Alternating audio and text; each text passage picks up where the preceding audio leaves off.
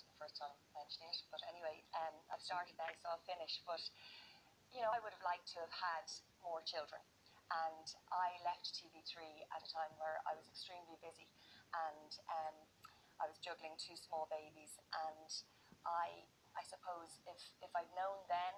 Um, to actually just get help with my hormones. I wouldn't have gone down the route of um, of leaving my job to I was going through my what was to be my second out of third uh, sessions of IVF.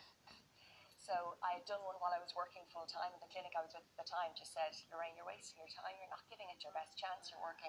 A Decision to leave, which was really difficult to kind of park my career for a while. Difficult to kind of park my career for a while because I thought, well, I'm going to give it a good shot, and I ended up giving it two more. Um, And that is all from Xpose Tonight. And that is all from Xpose Tonight. And indeed, me on Xpose. This is my last show, so I'd like to take this opportunity to thank